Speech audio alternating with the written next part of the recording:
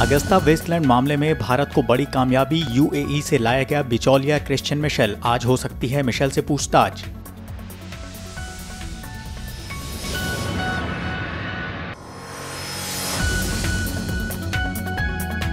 देर रात सीएम योगी ने बुलाई आपात बैठक, दिए कड़े निर्देश, बुलंदशहर के सुमित और लखनऊ में बीजेपी नेता प्रत्युष मणि के परिजनों को 10-10 लाख रुपए आर्थिक सहायता देने की घोषणा की।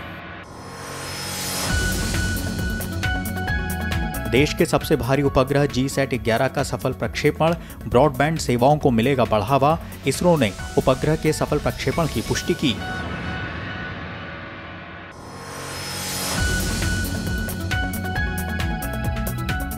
दिल्ली एनसीआर में हवा की गुणवत्ता बनी हुई है बहुत खराब, अगले चार दिन तक राहत की कोई उम्मीद नहीं।